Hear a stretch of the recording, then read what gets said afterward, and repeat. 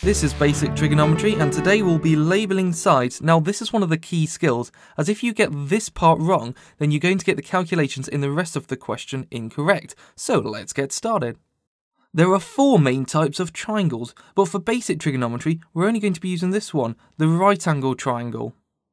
The first side we're going to label, you'll have to recall your Pythagoras theorem knowledge. Now in that, you'll know that the longest side is called the hypotenuse and it's the same case as in here. Now, if you're unsure of which one the hypotenuse is, it's very simple to remember. It's facing the right angle. So we're going to label this side the hypotenuse. The second two sides revolve around this given angle here.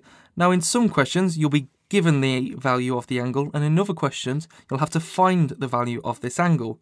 But unlike Pythagoras, the two side lengths are in very specific places. The first side, which is nice and simple, is opposite this given angle, now we'll call this the opposite side. And the final side length is adjacent to this given angle, so we'll actually call this the adjacent side.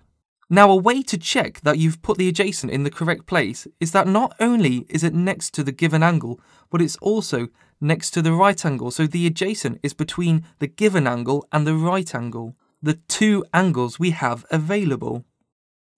So here's your chance to have a practice yourselves. Pause the video, give it a go, and we'll go through the answers.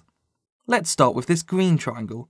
Firstly, we want the hypotenuse side, which is the longest side and facing this right angle. So therefore, this is the hypotenuse. I shorten it to the first three letters. The second side, we'll have a look at the side that's opposite to this given angle, so we'll call it the opposite. The third side is adjacent to this given angle, so we'll call it the adjacent. And just to check that we know we've got the adjacent in the right place, it's between the two given angles, the given angle and the right angle. The orange triangle We'll start with the longest side, which is facing the right angle, so we have the hypotenuse. The next side, we've got the opposite side opposite the given angle. And finally, we've got the adjacent side, which is adjacent to the given angle and between these two angles. That leaves us with the pink triangle, which looks a little bit different and a bit trickier, but all the same rules still apply.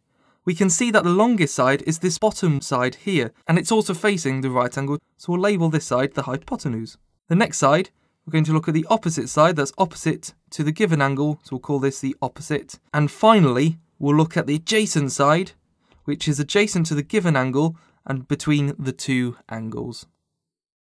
And that's all for this video. I hope you feel happy like this chappy here. Feel free to like and subscribe the videos, and I'll hope to see you in the next one.